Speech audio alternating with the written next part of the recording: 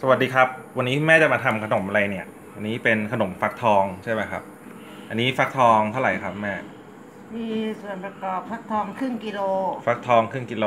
อ่าอ่ากะทิครึ่งถ้วยกะทิเนี่ยนะฮะกะทิกล่องธรรมดาเนาะกล่องก็ได้คั้นก็ได้อ่าครึ่งถ้วยน้ำตาลทรายเท่าไหร่ครับเอ่อหนึ่งเศษหนึ่งส่วนสี่ถ้วยหนึ่งสิบหนึ่งส่วนสี่มะพร้าวขูดมะพร้าวทึนทึกขูด ครึ่งถ้วย ครึ่งถ้วยนะครับ อันนี้สำหรับ โรยหน้ามะพร้าวทึนทึกโรยหน้า แล้วอันนี้เท่าไหร่ต้องใช้เท่าไหร่ ก็โรยเอาเท่าไหแล้วแต่เราจะก็ได้ชอบใช่ไหมโรยหน้าเฉยๆแป้งมันเศษหนึ่งส่วนสามถ้วย ครับ แป้งข้าวเจ้าครึ่งถ้วย โอเค ส่วนผสมมีแค่นี้ ใช่ค่ะอ่า เดี๋ยวจะไปดูวิธีการทำกันนะครับ นำฟักทองไปนึ่ง อ๋อ ต้องเอาฟักทองไปนึ่งก่อน แล้วก็มาบด แต่แม่ก็จะเข้าไมโครเวฟนะคะอ๋อ แม่ใช้วิธีการเอาเข้าไมโครเวฟไม่ต้องนึ่ง ใช่ค่ะ แล้วก็อ๋อมาโอบเคดนะคะ ก็คือให้มันมาบดให้มันนิ่มๆอะเหรอ โอเคให้มันแหลกนี่ครับ แม่เอาเข้าไมโครเวฟเลยครับ ทางลัดครับ ไม่ต้องนึ่งนะฮะนี่ครับ จริงๆต้องเอาไปนึ่งฮะ แม่ใช้วิธีขี้โกงครับ เอาไปใส่ในไมโครเวฟนะฮะ ส่วนระยะเวลาก็ เอาเข้าไมโครเวฟไปเรื่อยๆฮะ สังเกตดูสักห้านาทีเนาะแม่นะอืมเสร็จแล้วก็บดฮะ ใช้ช้อนบดลงไปอย่างนี้นะครับ ร้อนๆบดเสร็จแล้วก็ค่อยผสมส่วนผสมต่างๆลงไปนะครับ เดี๋ยวมาดูกันต่อไปครับ นี่ครับบดเสร็จเรียบร้อยแล้วนะครับ ก็เอาแป้งเริ่มมาผสมกันนะครับนี่แป้งข้าวเจ้าแป้ งมัน กับแป้งมันใส่ลงไปเลยครับ แล้วก็มีเกลือสักหน่อยนะครับเมื่อกี้ลืมบอกส่วนผสมเกลือเนาะแม่ใช่ใส่สักประมาณหนึ่งช้อนชาครึ่งพอนะครับ ครึ่งช้อนชา โอเค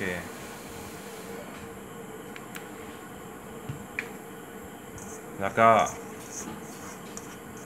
คลุกเคล้าให้เข้ากันครับต่ อมาก็ใส่น้ำตาลทรายลงไปเลยครับ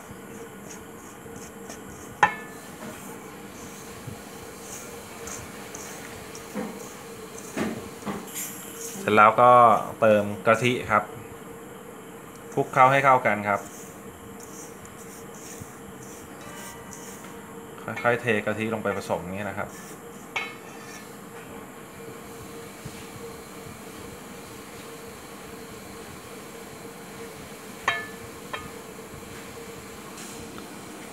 คลุกเคล้าไปเรื่อยๆนะฮะจนกว่าน้ำตาลจะละลายนะครับแป้งแป้งมันไม่เป็นแล้วก็น้ำตาลแป้งเข้ากันนะครับ แป้งไม่เป็นเม็ดน้ำตาลละลายไป ระหว่างนั้นก็เดี๋ยวใส่มะพร้าวขูดเนะครับ ลงไปเลย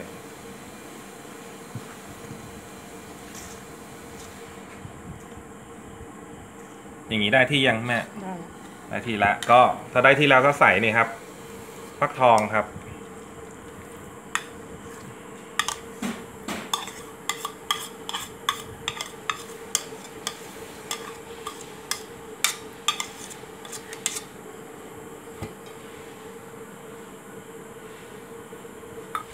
แล้วก็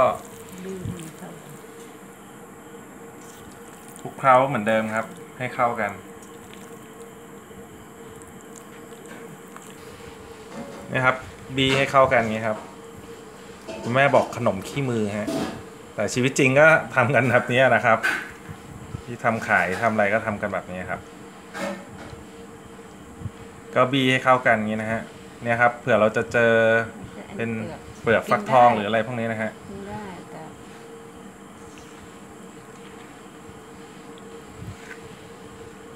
คนแล้วก็ไม่ไม่สะอาดไงเป็นเปลือกที่แท้เปลือกฟักทองกินได้ หาถ้วยนะครับผสมเสร็จเรียบร้อยแล้วครับคลุกเคล้าเข้ากันก็เดี๋ยว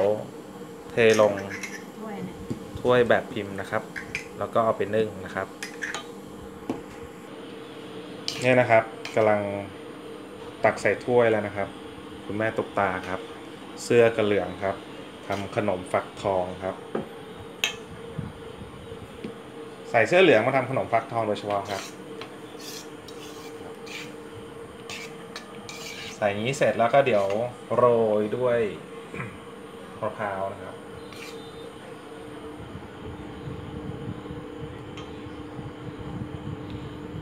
เมื่อกี้แม่ฟักทองครึ่งกิโลใช่ไหมครับ ใช่ ใส่ชำได้ประมาณกี่ถ้วยอะ นี่ไงเดี๋ยวนับก่อนเดี๋ยวนับถ้วยเอาเนาะ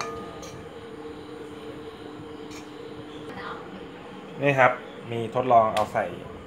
พิมพ์น่ารักน่ารักเป็นรูปไม้ ดอกไม้ดอกอะไรพวกนี้ด้วยนะครับ แม่ก็ลองเอามะพร้าววางไว้ตรงก้นมันนะครับ แล้วก็ใส่ นี่มะเอ่อฟักทองครึ่งกิโลนะครับ เท่าที่เรานับตอนนี้ก็ได้ประมาณสักยี่สิบห้าถ้วยยี่สิบถึงยี่สิบห้าถ้วยนะครับ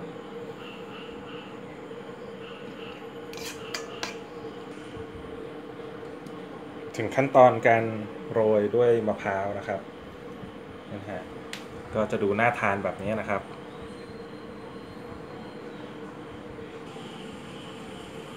ตกลงได้ประมาณกี่ถ้วยครับแม่ยี่สิบห้าได้ไหมประมาณ25ถ้วยนะครับ ต่อฟักทองประมาณครึ่งกิโลกรัมครับไม่ได้เสร็จแล้วเราก็เอาใส่ซึ้งไว้นี้ครับ ซึ้งนี้เราตั้งให้มันเดือดไว้ก่อนเลยนะครับ แล้วเดี๋ยวเราใส่ซึ้งไว้สักประมาณกี่นาทีแม่สิบนาทีแล้วสิสิบนาทีแล้วมาดูผลก่อนเนาะโอเคครับ นี่ครับเสร็จแล้วครับ ขนมฟักทองร้อนๆครับจากเตาซึ้งนะครับ ก็สรุปแล้วแม่ใช้เวลาประมาณ 15 นาทีนะครับ